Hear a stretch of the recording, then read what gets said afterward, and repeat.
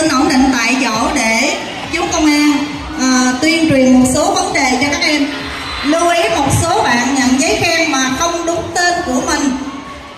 Nộp nộp lại cho thầy cô để thầy cô phát lại cho các bạn khác nha các bạn ổn định tại chỗ các bạn ổn định nè các bạn ổn định nghe chú Nguyễn Tường Vi là công an uh, uh, bộ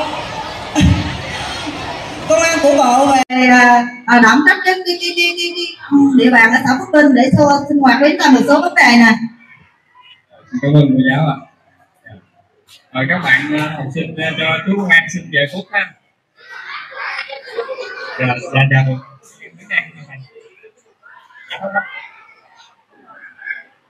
À, được sự đồng ý của các của quý thầy trong ban giám hiệu. À, thì phối hợp với công an xã thì hôm nay thì sẵn nhân cái dịp mà tổng kết của các bạn sinh á thì à, bên công an xã cũng có một số vấn đề để mà phát triển các bạn. Trước khi các bạn về nghỉ hè thì các bạn à, à, uh, phiền các bạn là nắng lại một chút đó để uh, nghe chúng tôi an uh, phổ biến một số vấn đề các bạn về nghỉ biết là cũng nắng hơn mà các bạn cố gắng mấy năm rồi các bạn chú ý này chủ đề hôm nay của chúng ta đó là vấn đề an toàn giao thông tại vì á hôm nay là các bạn uh, xong cái buổi lễ các bạn về nghỉ đúng không? Là biết cầm à, chú rồi nghỉ hè rồi nghỉ hè tới cầm chú ơi chắc nghỉ hè. Cầm quay thì các bạn chắc chắn là sẽ có tham gia giao thông đúng không ạ? Đấy, thì bây giờ cái lứa tuổi học sinh chúng ta thì ta tham gia giao thông như thế nào để cho nó an toàn và cho nó đúng với quy định của pháp luật thì uh, công an xã cũng có mấy điều để nhắn gửi đến các bạn. Các bạn chú ý nha. Các bạn chú ý nha thứ nhất đó là khi mà tăng ta tham gia giao thông thì chúng ta phải làm sao phải chấp hành theo đúng những cái quy định những cái luật à, luật giao thông để đảm bảo an toàn giao thông cho chúng ta này đảm bảo chúng ta không vi phạm pháp luật này đúng không thì đối với lứa tuổi học sinh á thì cái vấn đề thứ nhất là cái vấn đề à, về điều khiển phương tiện. Các bạn có biết là các bạn là được phép điều khiển cái xe gì không? Hả? Các bạn có được chạy xe máy không? Không nha lứa tuổi của chúng ta là từ trở xuống á, thì là từ 14 tuổi trở xuống thôi.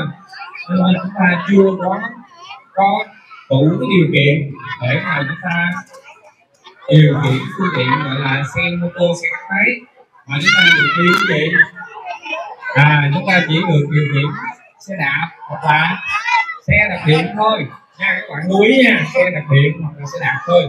Đó là cái thứ nhất cái hai là các bạn lớp chín này bạn lớp chín là sắp tới là các bạn uh, học xong cấp hai rồi lên cấp ba. Thì các bạn lên cấp ba lên lớp 10 á thì chúng ta mới đủ đủ tuổi để điều khiển phương tiện là gì? Xe gắn máy nhưng mà xe gắn máy dung tích xi lanh bao nhiêu? À hay ta nói nôm na là xe xe năm mươi, chúng ta không được chạy xe một trăm khối nha tức là dung tích xi lanh trên trên một trăm phân khối. Đó là chúng ta chỉ được điều khiển phương tiện xe gắn máy du tích xi lanh dưới 50 phân khối thôi. 49 phân khối. Được không? Mà xe nguyên bản chúng ta không được. Độ chế trong đó nha. Xe 50 mà chạy trăm mà cũng không được. Đó, thì các bạn có chính là lưu ý. Còn các bạn từ lúc 8 trở xuống thì cao tuyệt đối chú ý là không điều khiển xe các máy. Chúng ta chỉ được đi xe đạp điện hoặc là xe đạp thôi và cái vấn đề nữa là khi tham gia giao thông, thì các bạn thì tối là chúng ta không gì? Chúng ta nói chuyện với nhau, sau khi học về chúng ta nói chuyện với nhau thì chúng ta chạy hàng hai, hàng ba để dễ nói chuyện, đúng không? Nhưng mà làm như vậy là không đúng nha. Làm như vậy, một là chúng ta vi phạm cái luật giao thông, hai là gì?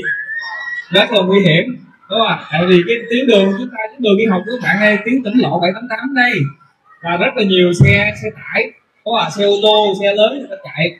Thì làm như vậy rất là nguy hiểm cho sức khỏe cho tính mạng của các bạn. Nên chúng ta đi hàng một thôi ha. Chúng ta đi sát lề đường đi đúng phần đường dành cho người. Đi xe đạp xe gắn máy thôi.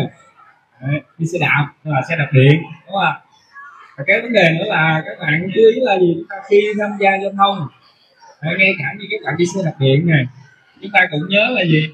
Trang bị một cái nón bảo hiểm cho nó an toàn. Tại vì xe đạp điện nó chạy nhanh hơn xe đạp rất là nhiều đúng có thể chạy đến 40 50 km trên giờ tương đương xe máy rồi à, và thứ hai là khi chúng ta đi xe máy có người thân chở ta nhẹ anh chị em người đó chở thì chúng ta cũng phải lưu ý. Bản thân mình là phải đội nón bảo hiểm lên trước. Và cái nữa là gì nhắc nhở người thân của mình.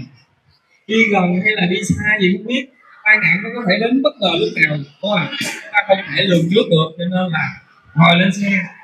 Tham gia giao thông xe máy ha xe máy cái thông mình ta phải đoạn nó có hiểm là phải an toàn cho mình trước đã đúng không ạ nhắc nhở người thân chúng ta để cho thứ nhất là nó tuân thủ theo đúng cái còn tôi mong thứ hai là đảm bảo cái tính mạng và cái sức khỏe của bản thân mình và người thân của mình đó là vấn đề tiếp theo và còn một vấn đề nữa là gì ạ à, trong thời gian qua vì cái tình hình tai nạn giao thông ở xã mình nè từ đầu năm đến giờ cũng có trên dưới là năm đến bảy vụ tai nạn giao thông mà có có một vụ liên quan đến học sinh chúng ta nè. Là các bạn học sinh điều khiển xe gắn máy, trong khi chưa đủ tuổi, chưa đủ điều kiện, chúng ta chưa có bằng lái. Đúng không và tại sao mà pháp luật người ta lại không cho những người ở lứa tuổi như các bạn điều khiển xe gắn máy? Bởi vì sao? Bởi vì thứ nhất là chúng ta chưa đủ năng lực, đúng không ạ?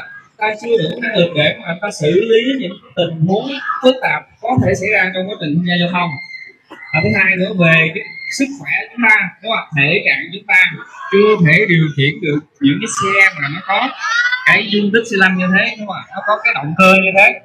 Để chúng ta chưa đủ không có các bạn chống chân đâu có tới đâu, đúng không? Ngồi xe chống cái chân chưa đụng đất mà. Làm sao mà điều khiển xe được, đúng không ạ? Đấy rồi. Thì các bạn lưu ý là xe gắn máy thì nó có việc chạy đúng không rồi rồi là trong sản thì rất nhiều trường hợp là các bạn học sinh mà để xe máy. Thì khi mà chúng ta điều khiển xe máy thì chúng ta vi phạm pháp luật chúng ta sẽ xử lý như thế nào? Thì ở lứa tuổi các bạn á, thì sẽ không bị phạt tiền. Đấy, không bị phạt? Nhưng mà các bạn sẽ bị cảnh cáo đúng không? nhắc nhở thông báo về trường để quý thầy cô và có bị pháp đúng không thì còn nhưng mà chúng ta không bị phạt nhưng mà cha mẹ chúng ta anh chị chúng ta những người nhau sẽ chúng ta sẽ bị phạt tiền. Mức tiền là bao nhiêu? Một triệu bốn trăm ngàn đồng cho cái lỗi là giao xe cho những người chưa đủ điều kiện. Nên các bạn á để chúng ta lưu ý á thì thôi bây giờ để tránh gây thiệt hại về kinh tế cho gia đình đó là cho người thân của mình. Đó, thì các bạn lưu ý đừng có chạy xe gắn máy. Rồi thì uh, cũng có mấy vấn đề thôi.